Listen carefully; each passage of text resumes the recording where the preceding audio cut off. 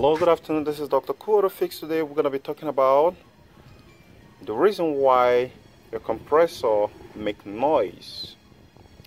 Okay, uh, the noise that your compressor make most often times actually to draw your attention which uh, can actually be as a result of one part or component that is failing.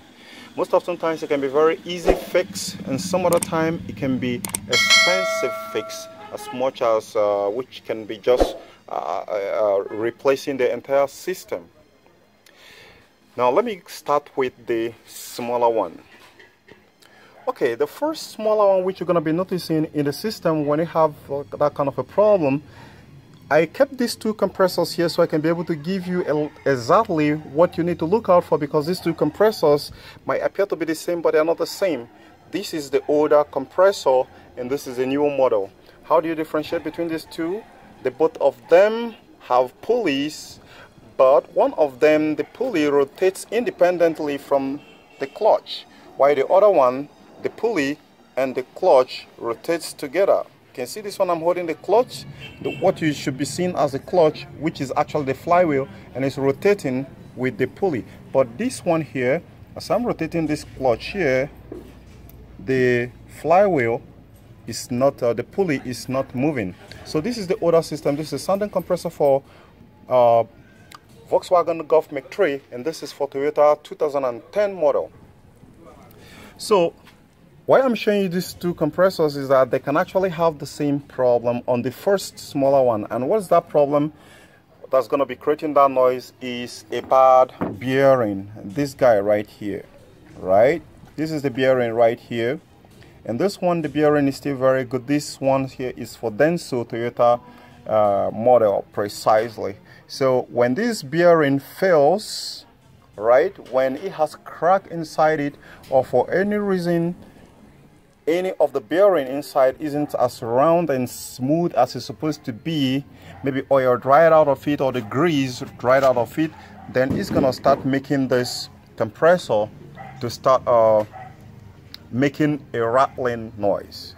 So that rattling noise you can often, most often times, you can notice it as soon as you put on the AC on, it will start making a wobbling noise. So that is the number one. Then the two, the second part which uh, can actually cause a compressor, noisy compressor is a defective internal structural component, a defective internal structural component. Like in this case this is actually for VW. So this one here, they have this kind of noise inside it. You can see there is uh, some little debris of iron. If I take it closer, you're gonna see there are some bunch of little, little iron right there. The reality here, and you can see some structural defect here because this one here, one of the piston just knock out. So it can actually happen. So when you have a structural defect, it's going to start making a rattling noise when you put on the AC system. And not only that, the system efficiency pulling is going to drop.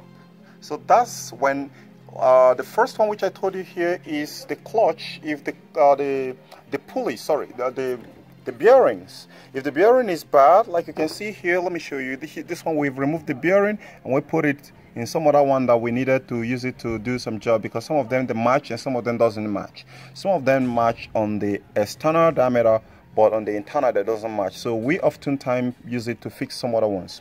So if you have a, a car that when you click, you give a AC command for the compressor to engage and engage and start hearing a rattling noise. One way to actually determine if it is the bearing that is bad or it has a structural failure like this one here is you want to notice how the system is performing. If the system performance didn't drop, if the cooling inside the vents, if the air coming out of the uh, vents doesn't uh, stop being cold and it's still very cold, then there is every 90% chance that what you have in there is a bad bearing. And that is a very less expensive fix when you have that. But let's say in a situation where you got a you, you, you, you press your AC button to put AC on and you start hearing the rattling noise and uh, there is something you notice in here.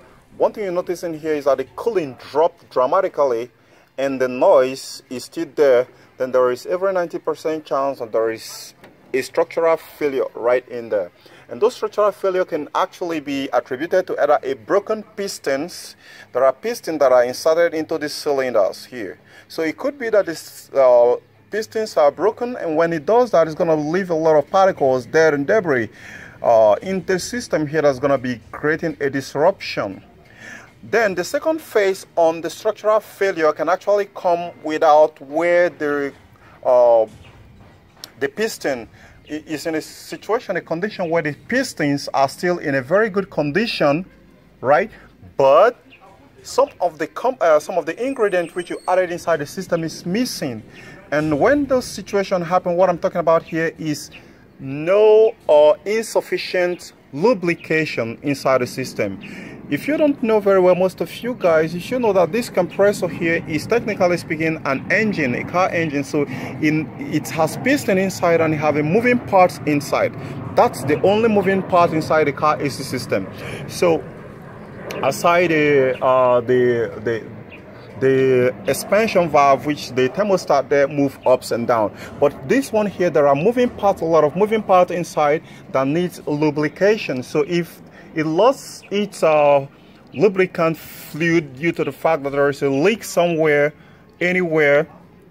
Then it's going to result into the system like this one here. It's going to result into structural failure but those structural failure can actually some of them can be very easy fix. Those easy fix there is going to be just a little bit of a rattling noise. If just a little bit of rattling noise when you add an oil into it. Let's say like uh, 5 mil or 10 mil right? You add the first 5 mil to it then you listen. And if you add the second uh, 5 mil to it again and the noise didn't go away if it is due to because there is a lack of oil inside the system when you add the first 5 mil the noise is going to reduce. When you add the second uh, 5 mil to complete it 10 it's going to reduce again so if you add it up to 2 or 3, 15 mil, and the noise didn't go away, then it is very huge uh, structural failure. And at that, there is nothing you can be able to do about it than to replace the entire compressor assembly. And uh, replacing it, if you're going to replace it yourself, it's going to take a very um, precise and uh, critical approach because if you don't take that very seriously, any compressor you get into the system is going to die. Now let's take a look at the Sanden compressor here. If suppose you're having uh, this kind of noise inside the system here, and it's a Sanden compressor, all Sanden compressor have oil refill part on. There is though, like here, but it's not in the middle like here. So this is where the oil stays most often times. But this one is just at the heart of the the the bell housing of the or the cylinders. So I believe that at this very video right here, you've known the reason why your car AC compressor is noisy. One is due, uh, so guys, if you find this very helpful to fixing your car AC problem, do give me a thumbs up and subscribe to my channel. I hope to catch you guys later. This is Dr. Cool Auto Fix. Bye for now. I see you on my next video.